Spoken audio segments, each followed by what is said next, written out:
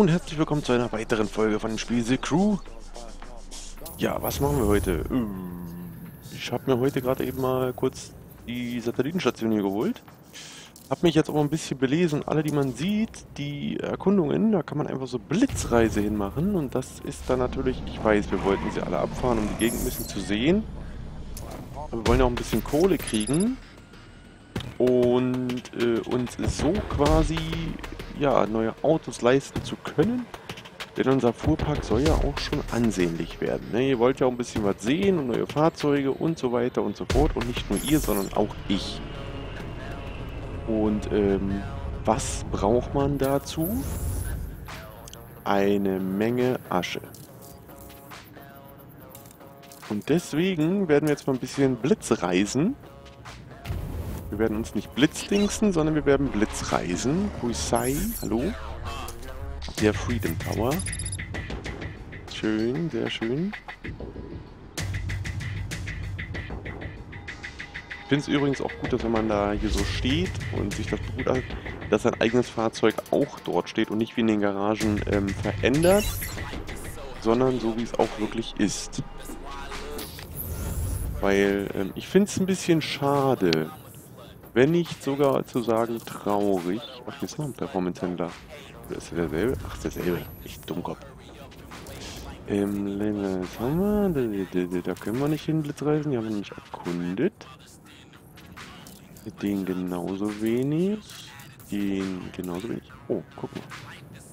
Hier, äh, ach, die werden auch angezeigt. Hier unten irgendwo ist noch ein Teil vom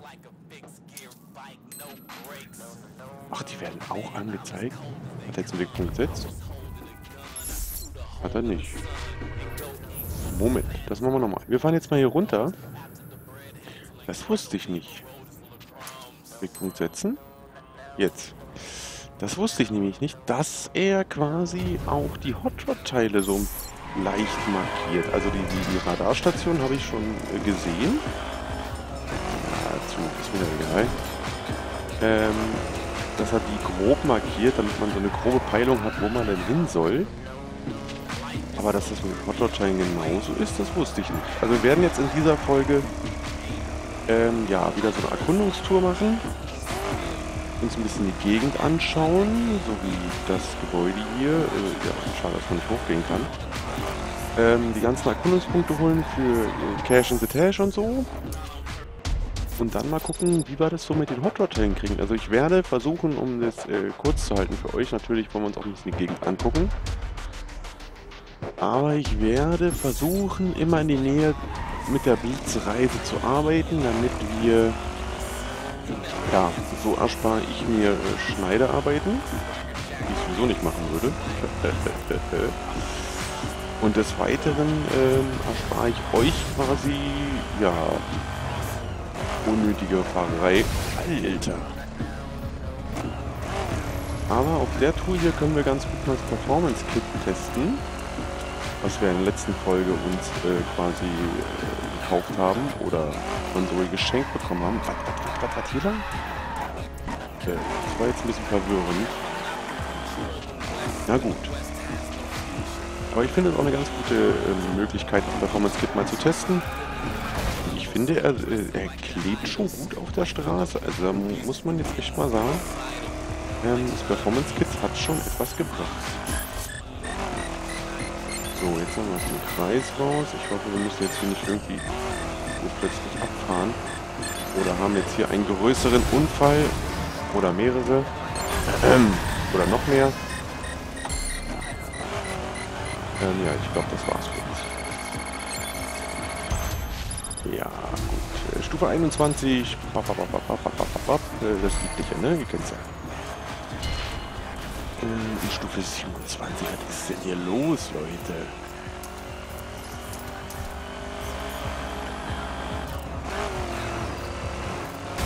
Und wieder ein Unfall. Auf dem Weg dorthin sollte man noch ein Hotdog-Teil kriegen.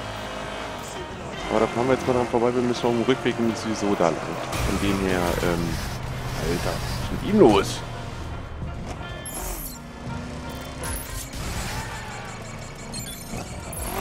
der Straße. Das sollten wir hinkriegen. Irgendwie. Hoffe ich.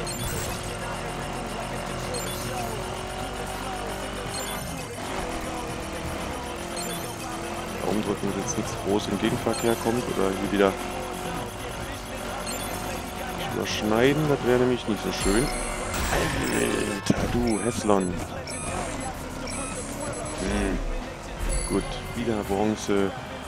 Mal gucken, welches Level. Wie diesmal? Wieder 27. Was soll denn immer? Ich glaube, wir sind für das Gebiet hier gar nicht bereit, aber wir sind hier. Gut, die letzten Rennen hat der Kenneth so ein bisschen geholfen, das habt ihr ja gesehen. Aber jetzt mal ernsthaft, äh, ne? Hätten wir auch schon äh, nach 50 Versuchen bestimmt auch äh, so geschafft.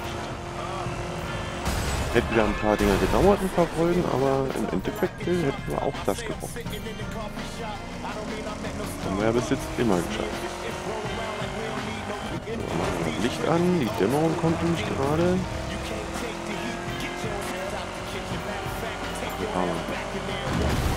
Vernünftig. So, da fängt auch schon an mit Blinkpoint. Slalom fahren. So. Hinter uns. Ich hoffe, das ist aber noch auf dem Abschnitt hier und nicht, dass wir jetzt umsonst auf die Insel rübergefahren sind. Wir checken das mal kurz. Das ist hier irgendwo Zipfel, aber ich glaube, es ist auf der anderen Seite. Oder war es... Moment mal. Ist es vielleicht sogar... Kann man es von hier vielleicht sogar sehen? Das wäre ja verrückt, wa? Hm. Ach, deswegen packen die das immer in den Wald, wa? Na. Ist das hier Mann. Da, oder? Moment.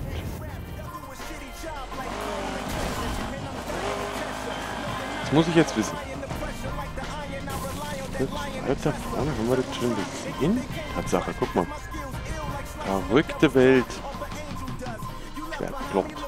Äh, es doch. Danke. 2 von 20. Was? Äh, so weit von... Ach, du.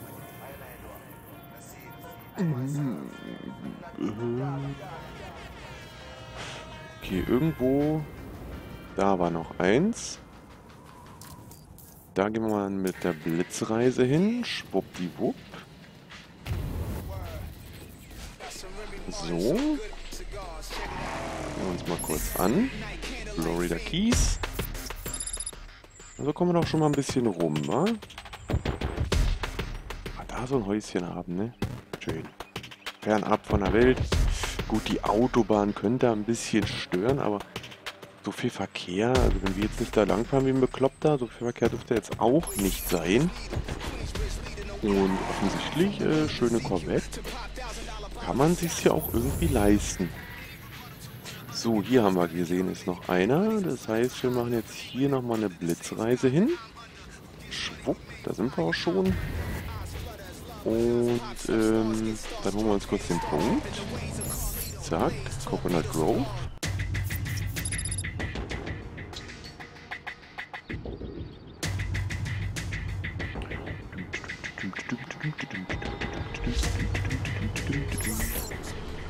So, was ich machen wollte. Radiosender mal wieder wechseln. Versuchen wir mal Broke Mogul.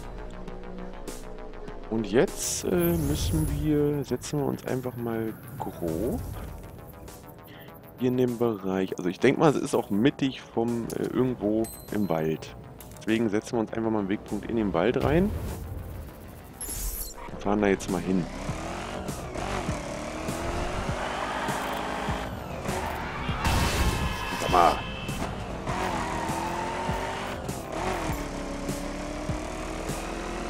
Mehr PS bedeutet automatisch Vorfahrt. Also ich weiß nicht, wo er seinen Führerschein gemacht hat.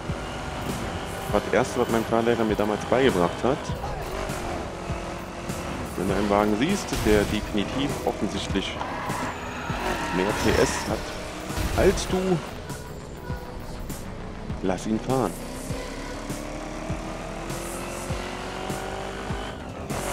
Das ist auch mal so ein Phänomen, ähm, ich sag mal so, nichts gegen Fahrradfahrer, ich fahre auch ab und zu gerne mal Fahrrad. Aber das ist so ein Phänomen, ähm, weiß ich nicht. Jeder kennt es wahrscheinlich, der selber Auto fährt. Ihr steht an einer Ampel und ähm, dass die Fahrradfahrer seitlich vorbeifahren, verstehe ich voll und ganz. Habe ich gar kein Problem mit. Mache ich auch. Aber wenn ich sehe da vorne, dass, dass ähm, einer abbiegen will. Ne? Also entweder platziere ich mich direkt vor ihm, so ein paar Meter, damit, äh, weil ich weiß, okay, ähm, er biegt eh ab, er kann eh nicht Vollgas geben. Aber kennt ihr diese Fahrradfahrer, die an allen Autos vorbeifahren und sich mittig vor das erste Fahrzeug stellen? Warum? Warum um Gottes Willen tut man sowas? Ich verstehe es nicht. Ich werde es nie verstehen. Ähm, es ist bekannt, dass ein Fahrradfahrer vielleicht die ersten Meter bei der Beschleunigung besser unterwegs ist als ein Auto.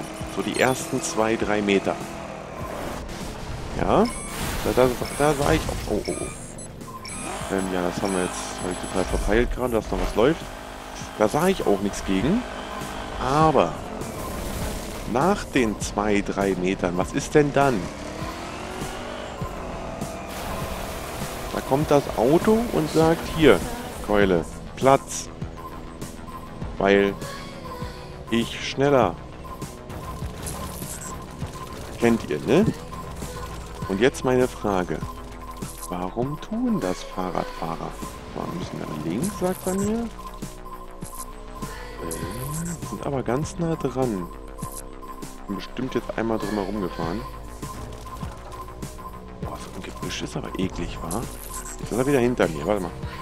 Machen Sie jetzt mal so. Eine enge Kurve. Ich will so ein Hotshot haben. Ich will endlich mal so ein Hotshot besitzen. Da steht er doch. Hallöchen. Ja, noch ein bisschen. So. 2 von 20, äh, 3 von 20. Und das Gebiet haben wir auch schon mal erkundet. Das ist doch schon mal schön. Heißt, wenn jetzt hier äh, was sein sollte, so erkundungstechnisch könnten wir da auch hin. So, wir gucken jetzt mal explizit nach den Hot Rod Teilen. Hier ist noch mal eins. Können wir da irgendwie... Oh, hier oben ist auch eins. Guck mal. Hier in dem Bereich. Dann machen wir hier mal eine Blitzreise hin. So. Genau, jetzt müssen wir wenden. Wenn mich jetzt meine Orientierung nicht völlig täuscht. Und dann hier vorne rechts weg. An alle Einheiten. Wir hören, dass ein gefährlicher Fahrer Ach, gequirlte Scheiße. Verkehrsraum. Blablabla.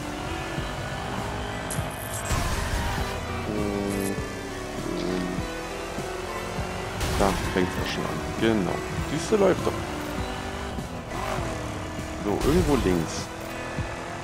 Schauen wir doch mal hier links. Mach Platz, Junge.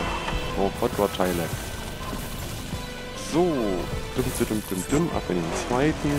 Mit dem Performance-Kit durchs Gelände. Das wird mir jeder Mechaniker danken. Baum. Baum. Baum. Äh, hier vorne leicht links. Da vorne steht er. Guck. Ist doch gar nicht so schwer. So, angebumst haben wir gewonnen. 4 von 20. Mhm. So einfach geht es manchmal. So, haben wir hier unten irgendwas? Hier unten blinkt blinkt gar nichts. Hier oben haben wir jetzt noch einen. Da bringt es auch nicht groß abzukürzen. Vermute mal, er ist hier oben. So mittig von dem Strahlenzentrum. Ja, müssen wir jetzt wieder eine längere Tour machen. Ich hoffe, ihr könnt mir das verzeihen. Aber ich denke, wenn wir den ersten Hotrod haben, ähm, ich hoffe, es ist ein geiles Teil und es äh, entschuldigt all die Arbeit und die Zeit, die man da investiert.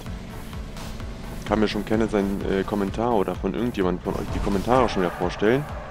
Nein, der Hot Rod lohnt sich gar nicht. Der ist zwar hübsch anzusehen, aber auf der Straße ist der total doof. Ist mir egal.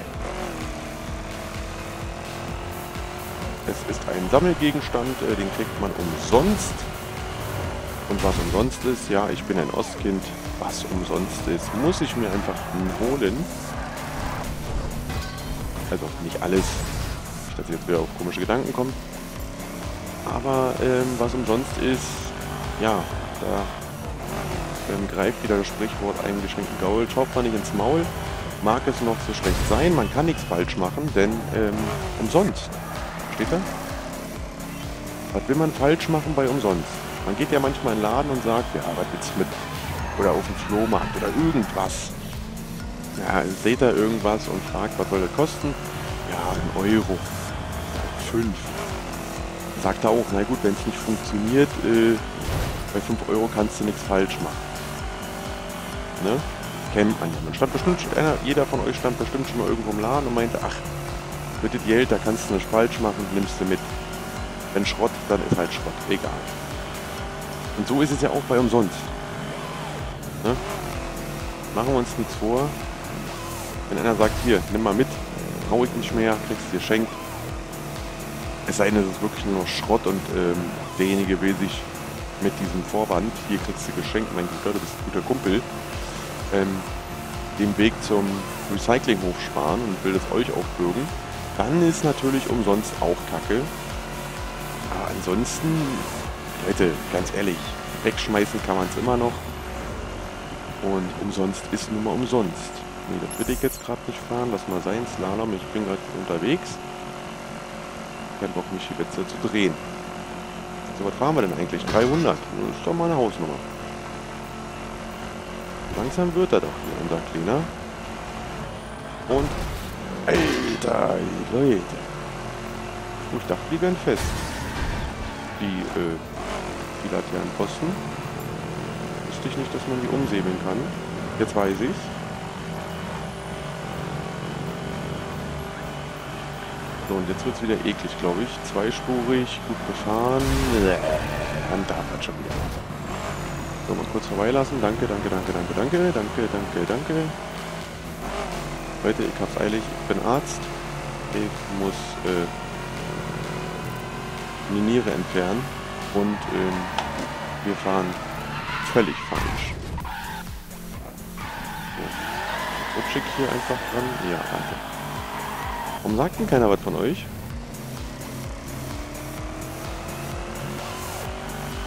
Wo ist mein Beifahrer, der mir einfach mal ins Ohr schreit? Junge, falsch!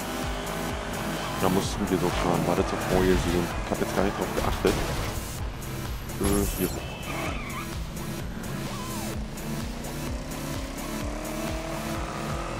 So, diese Hügelpassagen, ich sehe einfach nichts, ne?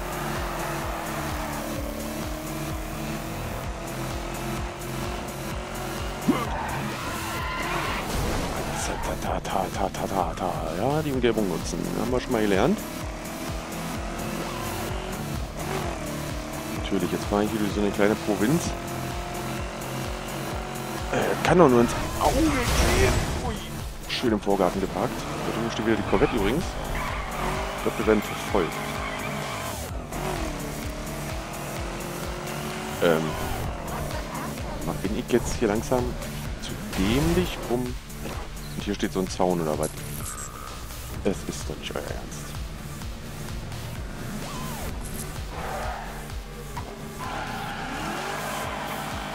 Aber sieht schon wieder aus wie Scheiße. Frage, da brauche ich nicht. Die Thematik mal vorhin. So, wo will der mit, will der denn mit uns hin? Ach ja. Da sind wir ja auch schon, Gott sei Dank. Ähm, wo fahren wir denn mal in den Wald rein? Ich würde sagen, wir nehmen mal den Weg hier bietet sich gerade an. Wir müssen noch ein bisschen weiter hoch. Ah, schön. Mit dem Performance-Kit. Über Land und Tal. Das ist doch... Mh, hm, schöne Wurst. Also... Steht der da auf dem Berg drauf? Ne, hinter uns, wa? Haben wir jetzt gerade dran die ganze im Kreis wieder? Natürlich. Hallo. Da. 25. Läuft. Das läuft, ich sagen. So, hier unten haben wir jetzt nichts mehr Hot Rod technisch, ne? Das nächste ist dann... Satellit, Satellit, Satellit. Auto hier oben. ja. Alter. Ostküste. Ey, wir sind ja schon wieder in den Südstaaten. Und ich wundere mich, warum wir so wenig Autoteile haben. Ähm, mittlerer Westen, da waren wir noch, da waren wir noch schon relativ weit. Guck mal, hier oben sind wir. Dank Blitzreise, glaube ich. Äh, ja. Warum mache ich jetzt hier vorne und nicht weiter da? Ach, ich bin doch dämlich. Naja, egal. Machen wir doch mal hier oben erstmal fertig, oder? Hier oben war doch recht aktiv, nicht doof? Leute, nee. Sagt aber auch keiner was, ne? Von wegen Hallo. Warum fängst du da von neu an? Du hast doch da schon viel mehr Teile. Warum machst du jetzt hier ein auf Verstecken? So, wir werden von der Polizei gejagt. Während wir natürlich... Äh, so, haben wir hier irgendwo gegen. Wir haben von Kenneth gelernt, man sollte dann durch den Wald fahren. Das hat sich bewährt bei ihm. Na toll, jetzt ist ja natürlich kein dichter Wald. Das ist äh, natürlich total prickelnd. Da haben wir ihn. Und äh, man sollte natürlich nicht selbst irgendwo hängen bleiben, ne? Ja, versuchen wir festzunehmen. Haben wir irgendwo den Baum, Mann. Nervt mich. Mit dem Wald klappt äh, total gut. Würde ich sagen. Der klebt uns die ganze Zeit am Arsch und äh, ja, ich würde sagen, wir nehmen die alte Wertmethode und versuchen einmal mit Geschwindigkeit zu trumpfen. Denn da glaube ich, können sie anpacken. Unser Performance-Kit. So, und jetzt fahren wir hier mal das Gelände, weil eigentlich dürften sie uns ja aus der Sicht verloren haben. Siehste. Läuft. So, jetzt müssen wir halt wieder zurückkommen. Und blink war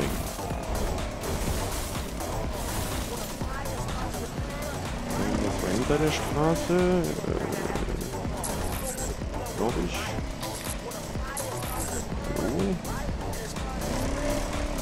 Menü. Ah, da ist es. So, noch geradeaus, noch geradeaus, noch geradeaus. Vielleicht reißt es mir echt die Tischplatte weg hier. Aber wir haben auch eine super Federung, ne? Also, wir wissen alle, das Performance Kit, also Renn. Tuning ähm, macht es sich richtig gut immer. Einfach mal ein bisschen durchs Gelände zu brettern. Wissen wir ja alle. So, jetzt einfach mal hinten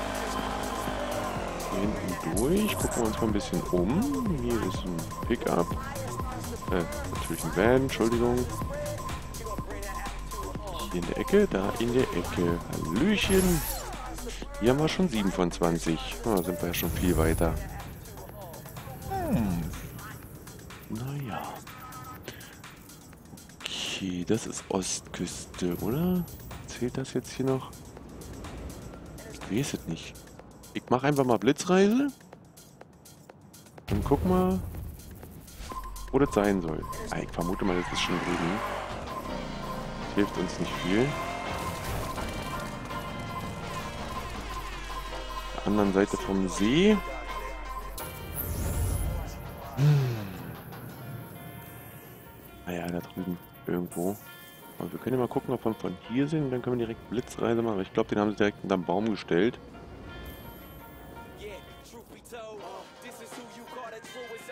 Seht ihr hier was? Ich sehe da irgendwie, aber das ist ein kleiner Busch.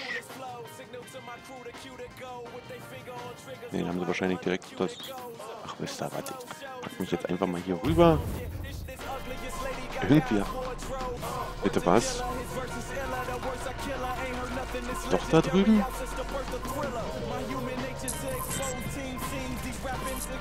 Ernsthaft? Da drüben steht er. Äh. Wie dumm ist das denn? Da möchte ich gerne Blitzreise hinmachen. So. Danke. äh. 8 von 20. Schön. Ja, auf welcher Seite steht er jetzt? Ne? Also ich würde sagen, hinter der Grenze. Das heißt, der gehört äh, zur Ostküste. Ja, so ist es. Hier oben 1, 2, 3, 4, 5, 6, 7, 8. Guck mal, hier können wir Blitzreise hinmachen. Mal mitten aufs Feld. Und ich sehe, wir sind zeitlich total drüber. Ich bedanke mich fürs Zusehen. Wir sehen uns gleich in der nächsten Folge. Tschüss.